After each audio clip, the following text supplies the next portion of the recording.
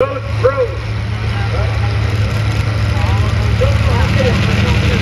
got powder and there, hanging on. Thompson Motion.